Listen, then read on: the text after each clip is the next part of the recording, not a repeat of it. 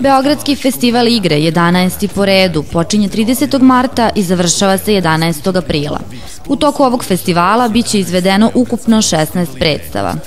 Festival se i ove godine proširio i otišao van granica Beograda, te će neke od ovih predstava biti izvedene i u Vršcu, Pančevu i u Novom Sadu.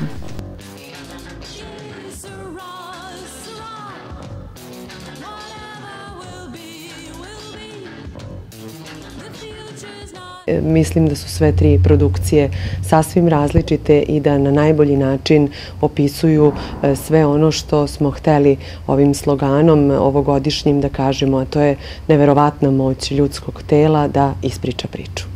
Organizatori najavljuju najinteresantnije produkcije sa svetske plesne scene koje, kako kažu, do sada nisu viđene na našim prostorima. Prema rečima podpredsednika pokrinjskog sekretara za kulturu i javno informisanje, Novi Sad je uvek bio zainteresovan za saradnju sa festivalima ovog tipa i da je ovo, prema njegovom mišljenju, odličan način da se nivo kulture podigne i u ostalim delovima Vojvodine.